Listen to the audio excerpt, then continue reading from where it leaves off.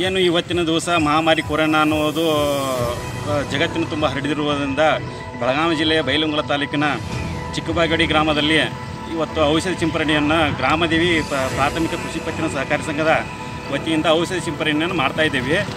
ಏನು ನಮ್ಮ ಪಕ್ಕದಲ್ಲಿ ಹಳ್ಳಿಯಲ್ಲಿ ಇರುವ ತ- ಬೆಳಗಾವಿ ತಾಲೂಕಿನ ಬೆಳಗಾವಿ ತಾಲೂಕಿನ ಹಿರೇಬಾಗಡಿ ಗ್ರಾಮದಲ್ಲಿ ನಿನ್ನೆ ಎಂಟು ಜನರಿಗೆ ಕೊರೋನಾವನ್ನು ತಗಲಿರುವ ಕಾರಣದಿಂದಾಗಿ ಇದು ಕೊರೋನಾ ಆಗಿರೋದರಿಂದ ನಾವು ಔಷಧಿ ಸಿಂಪರಣೆಯನ್ನು ಮಾಡ್ತಾ ಇದ್ದೀವಿ.